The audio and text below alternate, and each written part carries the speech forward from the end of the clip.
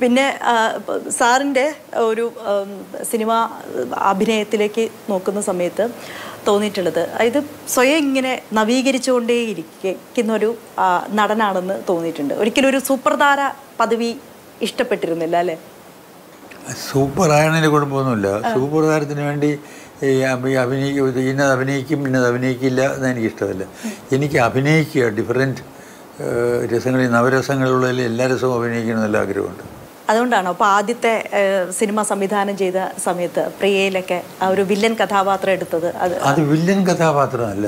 കുറച്ചൊരു negative ഷെയ്ഡുള്ള? Negative ഉള്ള ഒരു ഒരു ഒരു ക്യാരക്ടർ.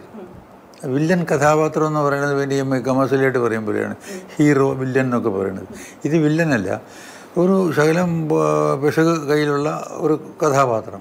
അപ്പോൾ അങ്ങനെ ഇത് ഒരു ഒരു ചട്ടക്കൂടിനുള്ളിൽ തന്നിലെ നടൻ ഇങ്ങനെ നിന്നു പോരുതെന്ന് എപ്പോഴും ചിന്തിക്കായിരുന്നു. ബോധപൂർവം അതിനുവേണ്ടി ശ്രമിക്കായിരുന്നു. ഇല്ല അത് പൊളിക്കണം എന്ന് ആഗ്രഹം ഉണ്ടായിരുന്നു. അതല്ല അതിനേക്കാളും കൂടുതലൊന്നും അവർ അത് അഭിനയത്തിന് സ്കോപ്പുള്ള ഒരു ക്യാരക്ടർ ഞാനായി ഇവിടെ അറിയിക്കണ പടത്തില്ലെങ്കിലും പടത്തിലെങ്കിലും വേണ്ടേ ചെമ്മീനിലെ പരീക്കുട്ടി എന്ന കഥാപാത്രം. അപ്പം ഇത്ര കാലങ്ങൾ ഇപ്പോൾ കഴിഞ്ഞിട്ടും ഞങ്ങളുടെയൊക്കെ ഈ ഒരു തലമുറയിലാണെങ്കിൽ ഒരു നിരാശാ കാമുകം വരുന്ന സമയത്ത് പെട്ടെന്ന് എല്ലാവരുടെ മനസ്സിലേക്ക് അതിലും ഒരുപാട് നിരാശാ കാമുകന്മാരെ പല സിനിമയിലൂടെയൊക്കെ കണ്ടിട്ടുണ്ടെങ്കിലും ഇപ്പോഴും വരിക പരീക്കുട്ടിയാണ്. ഇപ്പോഴും ലൈവായി നിൽക്കുന്ന കഥാപാത്രമാണ് പരീക്കുട്ടി. അതെന്തുകൊണ്ടാണ്?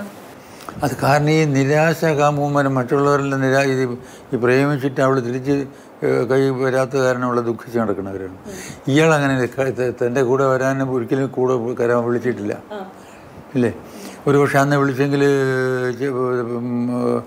കറുത്തമ്മ കൂടെ പോയേനെ. വിളിച്ചിട്ടില്ല. ഇപ്പോൾ വിരൽ കൊണ്ടുപോലും തൊട്ട് നോക്കിയിട്ടില്ല. സ്നേഹിക്കുക എന്നുള്ളത് മാത്രമായിരുന്നു ഇയാളുടെ അപ്പോൾ അതായിരുന്നു അയാളുടെ എന്തെന്ന് പറയുക തപസ്യ.